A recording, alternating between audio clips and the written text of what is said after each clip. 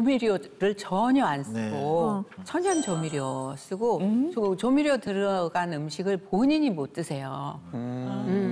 사실 어머니 얘기를 꺼내서 그렇지만 어머니 돌아가시고 나서 최진 씨가 굉장히 많이 힘이 들었었거든요. 예. 지금 돌아가신 지가 12년 됐어요. 네네네. 13년? 엄마 생각을 하니까 제가 좀 많이 아팠어요. 응. 마음이 아프니까 몸이 그냥 아파버린 네, 거죠. 그래서 제가 말을 못했어요. 그쵸. 한, 네, 오랜 세월. 한 2년 정도. 말을 못했다고요. 말을 하긴 하는데 이게 안 나오는 거죠. 안 나와요, 밖으로.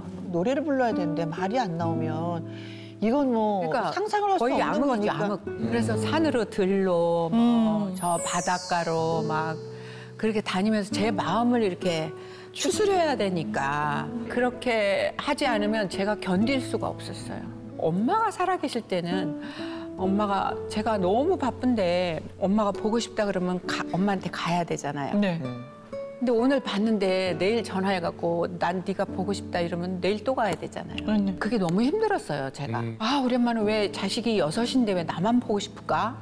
이런 생각도 했었어요. 하죠. 음, 돌아가시고 나니까 제가 엄마를 너무 많이 의지했어요. 엄마는 나만 의지해 막 이랬는데 사실은 엄마 돌아가시고 이제 많이 말 말도 못하고 막 그럴 때 묘를 이렇게 엎드려서 붙잡고 엄마 사랑해, 엄마 사랑해 이렇게 하, 하니까 이모가 그걸 보고 아 그때 말씀하신 너희 거구나. 엄마는 네가 사랑한다고 자꾸 그러면 못 가. 음. 천국으로 못 가.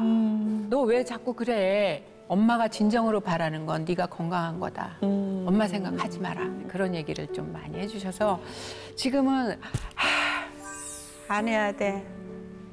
이런 생각 많이 해요.